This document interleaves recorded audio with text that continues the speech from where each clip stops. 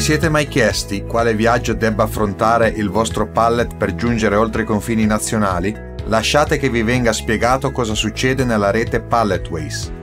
Grazie a una rete costituita da 23 hub e da oltre 400 concessioni distribuite capillarmente in tutta Europa, Palletways è in grado di offrire servizi di ritiro e consegna in 24 paesi.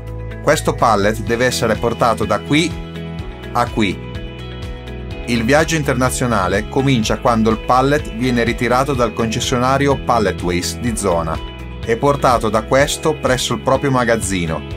Da questo momento il pallet entra nel network Palletways.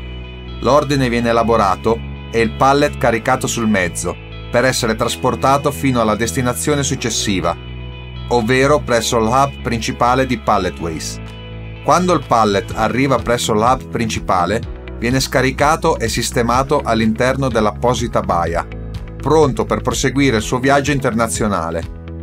Il pallet è ora in viaggio verso il hub del paese in cui si trova la sua destinazione finale. All'arrivo, il pallet viene scaricato e sistemato all'interno dell'apposita baia del concessionario di destino, responsabile della consegna finale. Quest'ultimo si occupa di caricare il pallet e portarlo all'interno del proprio magazzino, una volta che il pallet ha raggiunto il magazzino del concessionario di zona, viene scannerizzato all'ingresso e smistato in base alla località di destinazione.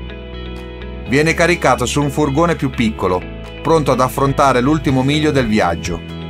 Il vostro pallet è giunto a destinazione ed è stato consegnato in modo sicuro e dunque terminato il suo viaggio internazionale il cliente può ora porre la propria firma sul telefono del conducente. La firma documenta che la consegna è avvenuta con successo, riconfermata immediatamente al cliente, mentre voi riceverete una prova di avvenuta consegna, POD, a completamento dell'ennesima storia di un viaggio internazionale conclusosi con successo, grazie al più grande network europeo espresso di merce pallettizzata.